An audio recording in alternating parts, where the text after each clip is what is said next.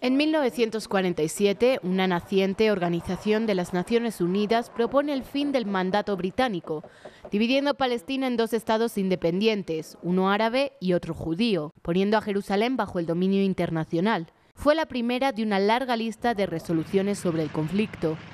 En 1967, Israel ocupa Jerusalén Este, provocando un nuevo éxodo de palestinos.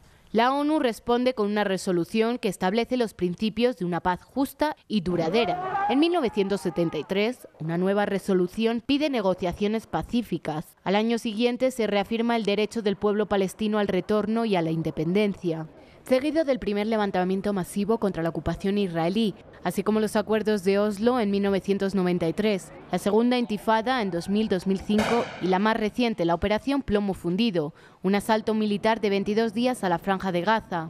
En 2012 se concede a Palestina el estatus de observador no miembro de Naciones Unidas. En 2016, el Consejo de Seguridad reafirma que los asentamientos israelíes son una violación flagrante del derecho internacional. Durante décadas, las innumerables reuniones de la ONU sobre este conflicto han dado la impresión de un fracaso global, pero sin Naciones Unidas la situación sería probablemente mucho peor. Preparándose para dejar su puesto en diciembre como coordinador especial de la ONU para la paz de Oriente Medio, el búlgaro Nikolai Miladenov insistió en que el objetivo de una paz justa y duradera entre los pueblos israelí y palestino sobre la base de dos estados sigue siendo inalcanzable.